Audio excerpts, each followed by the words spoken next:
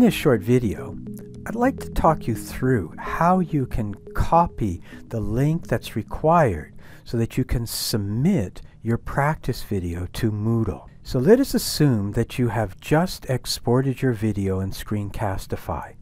Now you have two options. One option is to click the Share button, and then you'll see a window that looks like this.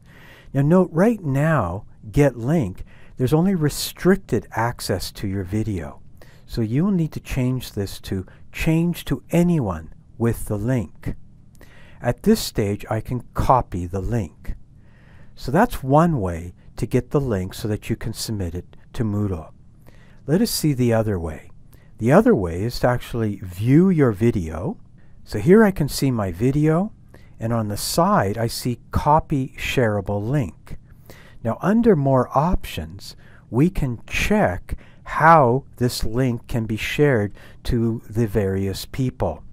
So right now it's unlisted. However, people with the link can view it.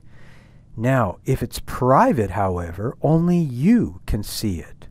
So therefore, make sure that your video is either unlisted or public.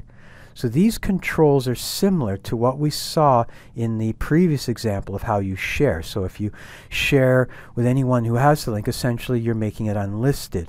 If you click private, well then you're making it restricted. So make sure it's either public or unlisted at this stage. So now once again, copy shareable link. Now I'm going to go to my Moodle page. And for the practice video, I'm asking you to submit your video right here. Submit link to practice video. So click on this.